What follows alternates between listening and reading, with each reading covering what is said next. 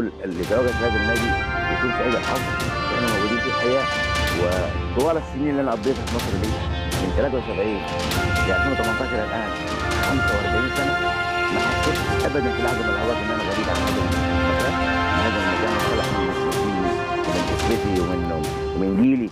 بسم الله الرحمن الرحيم. خلق أهلا بيكم. أظن زينا يعني زيكم في حالة من السعادة والبهجه بهذا اللقاء الذي طال انتظاره هو. انتظار لكن النتيجة تستحق هذا الانتظار. نادي كله من- شخصيات أمام آه، قديرة النادي الأهلي وخلفنا. النيل الخالد إطلالة ولا أروع. نلتقي بحضراتكم علشان ن- بعتبره حاجة نقول مع جداً. بعض من خلال والحمد لله الواحد سعيد آه، جدا جدا أستاذ إبراهيم جدا بنيسي، ملك. إيه الجديد يا بينتمي للنادي الأهلي أهلا بيك يا باشمهندس أهلا بيكم اعزائي. المشاهدين وألف الف مبروك ألف. مبروك لكل أهلاوي ألف مبروك لكل واحد عايز يستمتع بشاشة رياضية متميزة جدا ألف مبروك لكل إنسان انتظر هذه اللحظة المهمة جدا في تاريخ الأهلي الإعلامي أعتقد تاريخ النادي الأهلي الحافل بالكثير من الأيام والبطولات والألقاب والتتويجات والأجوان الحلوة. جمهور النهارده بيست- بيستقبل هدف رائع جدا يفرح بيه بيحرز بيه بطولة كبيرة جدا عشان يستمتع بشاشة أعتقد هتشوفوا كتير فيها من التميز كتير فيها من النجوم كتير فيها من الأفكار عشان تكون نقلة نوعية كبيرة جدا في تاريخ الاهلي الإعلامي. الحقيقة الحقيقة يعني برضو لازم نقول لهم إن من خلال الحوار الدائم بيننا وبين شركة لايف والحقيقة حطت إمكانيات ضخمة جدا بإذن الله يلمسوا هذه النتيجة من خلال صورة وصوت غير مسبوقين بإذن الله. لكن إحنا كل اللي نملكه أدائنا هنوعد الناس إن إحنا هنقدم لهم ثوابت النادي الأهلي هوية البرنامج ولكن في شكل جديد يا أستاذ إبراهيم. بالتأكيد لأنه الأهلي زي ما بيجدد فرقته وزي ما بيعمل صفقات كبيرة جدا تدعم كل فرق رياضية بيدعم صفوفه الإعلامية بيطور شاشته بيحدث نقلة كبيرة جدا نوعية في الإعلام الرياضي. قناة الأهلي اللي كانت رائدة الإعلام الرياضي الفضائي في مصر أعتقد زي ما كان النادي الأهلي صاحب السبق التاريخي في امتلاك مجلة ثم السبق التاريخي في امتلاك قناة. ها هو يحدث هذا التطور النوعي الكبير جدا في مستوى شاشة قناة الأهلي. ملك وكتابة جزء من هذه الشاشة اللي ارتبطتوا بيها حضراتكم على مدار 543 حلقة. الجميل يا أستاذ إبراهيم. آه. إن ال- الإطلالة حتى التفكير في فلسفة جديدة.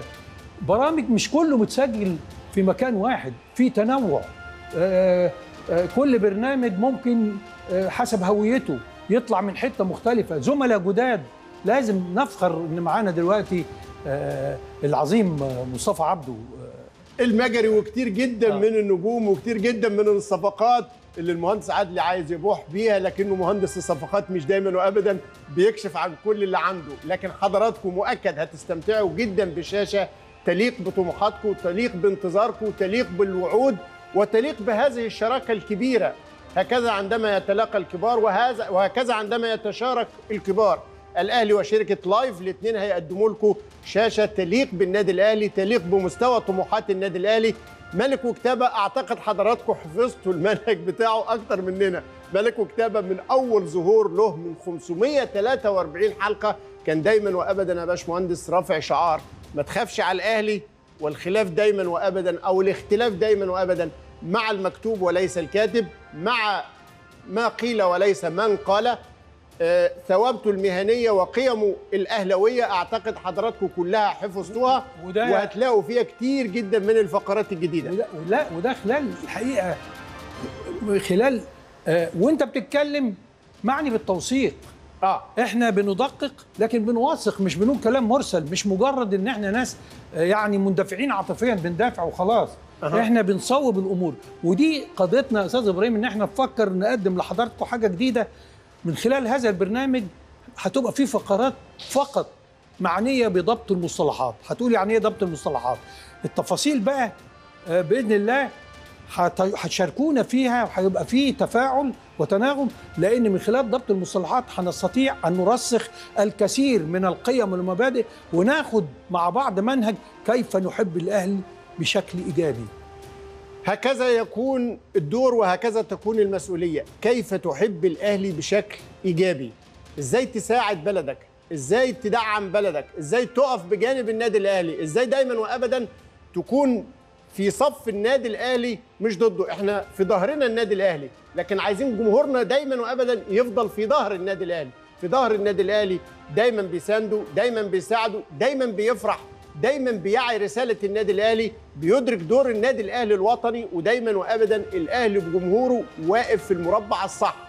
ده تاريخيا. عشان كده ملك وكتابة جزء منه التفاعل يا باشمهندس هيكون معني زي ما اتفقنا إزاي صوت حضراتكم يوصل لنا أول بأول وانت بتتفرج علينا إزاي تقول رأيك فينا وفي اللي إحنا بنقوله وتشوف رأيك وتسمع كلامك صوت وصورة لحظة بلحظة. كتير جدا من الفقرات الجديدة التفاعلية في ملك وكتابة هتستمتعوا بيها لكن كمان إضاءة الشموع الحمراء هتبقى مسألة مهمة جدا. إلقاء الضوء على مواقف كتيرة وأحداث كبيرة وأخبار تخص النادي الأهلي. وده اللي عايزين نقوله. وإحنا معنيين بقى بالنادي الأهلي وعايزين نقدم لكم هو جديد ونحكي لكم عنه وعن رموزه. الشموع الحمراء ده اسم من آه، ابتكارات آه، أستاذ إبراهيم ولكن أنا الحقيقة سعيد بيه جدا لأنه آه، كثير من الشموع الحمراء والرموز أضاءت آه، مش للنادي الأهلي أضاءت للرياضة المصرية آه، طريقها وخدت بإيدها وده بيوصلنا إلى النقطة المهمة.